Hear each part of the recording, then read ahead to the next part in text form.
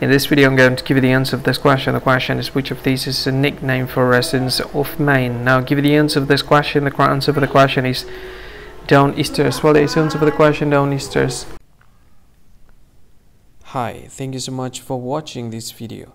If you find this video is very useful, you can help this channel to grow by subscribing this channel. Please this subscribe button and don't forget to like this video.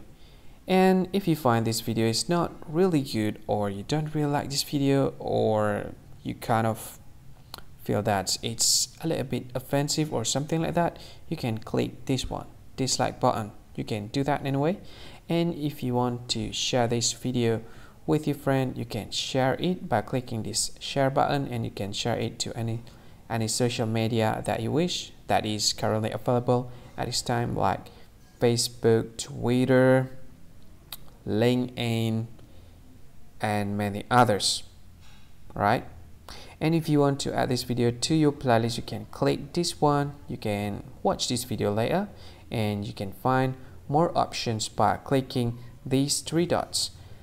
And yeah don't forget to subscribe. I think that's all of it. Thank you so much for watching this video and see you again in another video. Bye bye see you again